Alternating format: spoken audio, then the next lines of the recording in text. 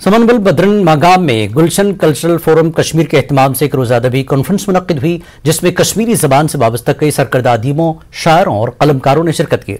महफिल मकाला, महफिल अफसाना और महफिल मुशायरा कॉन्फ्रेंस की नुमाया नशस्तें रहीं। इस मौके पर प्रोफेसर गुलशन मजीद मेहमान खसूसी की हैसियत से मौजूद रहे प्रोफेसर बशर बशीर और शमशाद करालावारी ने बेतरतीब नशस्तों की सदारत की। फोरम के सदर सैयद बशीर कौसर ने कलीदी खुतबा पेश किया, जबकि फोरम के जनरल सेक्रेटरी गुलशन बदरनी ने खुतब इस्तकबालिया पेश किया।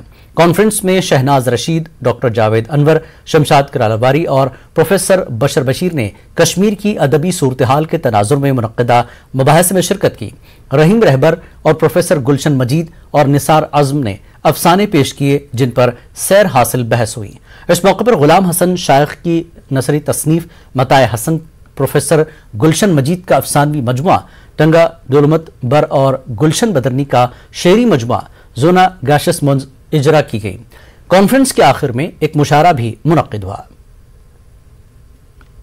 नए शोरा, कुछ नए अफसाना निगारों ने अपनी तख्लीक़ातों का मुजाहरा किया है।